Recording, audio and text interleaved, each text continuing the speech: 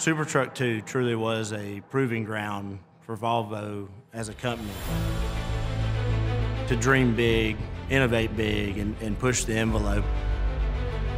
We are able to focus purely on the technological development and not worry about how much of it will go into production. Like any new development, there are things that work, there are things that don't work. But it really helps us to decide what we should and shouldn't include in our future products. In a way, it's very similar to concept cars. You don't always see concept cars going to production, but they lead the way. They show you what's possible. The Department of Energy issued us a challenge for improving our freight efficiency by 100%. We set our own internal target of 120%, and at the end of it all, we were actually able to achieve 134% improvement in freight efficiency. All testing did start static, lab testing, digital testing, but our main goal was to do on-road, real-life testing. This truck was tested in a real-world environment on road.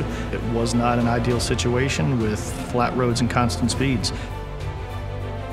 The three main design elements that contribute to uh, the performance of the truck. One is the windshield. It's very aerodynamic. The second one is just how we designed the hood around the cooling package. The other area for us was the body side of the truck. The windshield, the hood, and the side, and to make it all just one cohesive shape.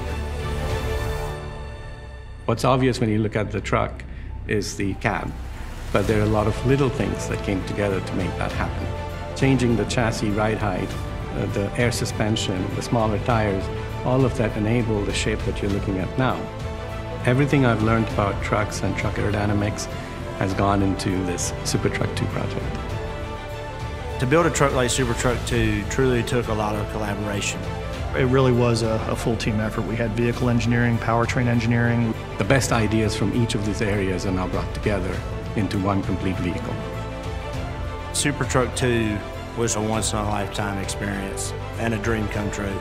I feel extremely fortunate that we were able to not only conceive of it, but actually put it into reality. This is the most aerodynamic tractor-trailer system Volvo has ever built. We've only scratched the surface of what we're capable of. There is so much more innovation that we can do within this industry.